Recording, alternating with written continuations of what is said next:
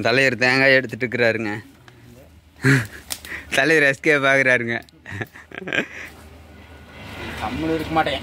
விசாக வண்டியில் அப்படி அப்படி விழுந்துருச்சு பாருங்க.